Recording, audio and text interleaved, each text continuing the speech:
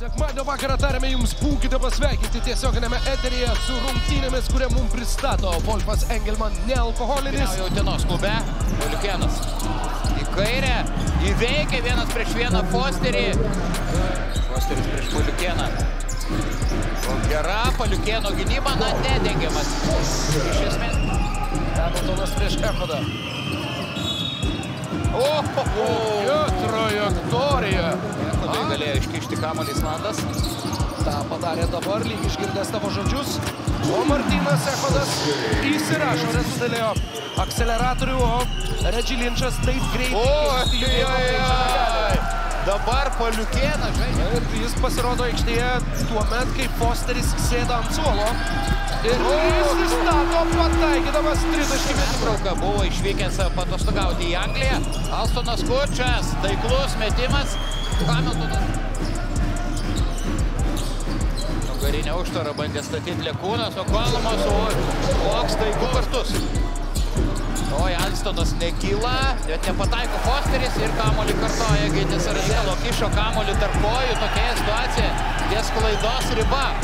Bet liko Alstonas, vien, Alstonas vienas. Jis ar buvo žingsniai ar ne? Fosteris prieš Paliukėną, daug sunkiau, puikiai Paliukėno gynyba, bet vis... Jau dabar atrodo daugiau negu pakankamas. O, Linčas gali mesti įrodinėję ir iš vidutinio. Perimtų kamuolių skaičius kiekviename karjeros sezone.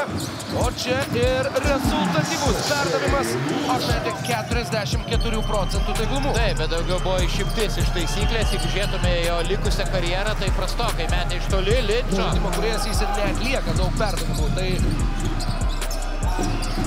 Aleksas Hamiltonas iš toli ir dar kartą. Prašoko, skučas po driblingo. Nuo tiesmukas perdavimas. Jau kiemo krepšinio elementų mums pademonstravo Braunas ir taškai iš po krepšio. Atakai skirto laiko sirena prameta Serbas, prameta. Čestinas Alstonas. Vilnius rytas vėl turi posterį nuošalėje. Dar du taškus. Varadė apibėga Hamiltoną ir pelno taškus. Gal ir skauda koja, nes čia Čia padaryti niekam. Šešias baudas metė keturis Kučas! Tačius Kučas iki galo. Žygimantas Kučas. Hamiltonas. Wow. Sugebėjo rasti erdvės, nesugebėjo pataikyti, bet Redžiai sprendimui. Hamiltonas prieš Masiulį. Pataikė vieną labai svarbų tritaškį prieš Kytį Masiulį Aleksas Hamiltonas. Kawhi yra Vilniečių gynyba.